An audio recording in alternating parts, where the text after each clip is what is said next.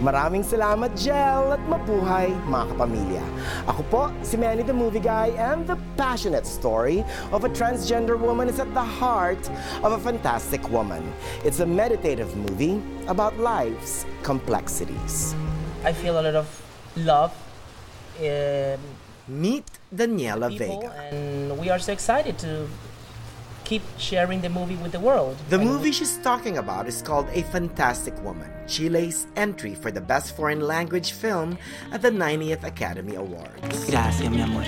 Debuting at the Palm Springs International Film Festival to a standing ovation, Vega stars as Marina, a transgender woman whose lover suddenly dies. But instead of being able to mourn, Marina is treated with suspicion and faced discrimination. Su pareja.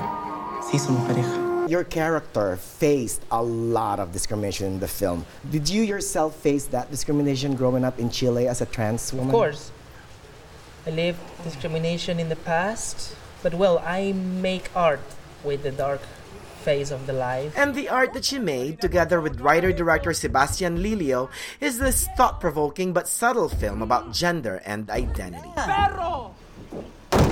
The first openly transgender actress in Chile, Daniela Vega's film debut is met with international acclaim. What was the hardest part in making the movie? It was a very, very hard work. It's not uh, easy character. Yet she gave us a performance that's deeply resonant and a character with steely resolute. The talented actress who also moonlights as a singer calls a fantastic woman a zeitgeist for the transgender community. And I think it's a beautiful signal. So the journey is all worth it. I love journeys. The journey of Daniela Vega is just beginning. When asked if there are other directors she wanted to work with, Pedro Almodovar. perhaps a movie with Pedro Almodovar is in the horizon, maybe even an Oscar for a fantastic woman. But one thing's for sure, Daniela Vega is truly fantastic.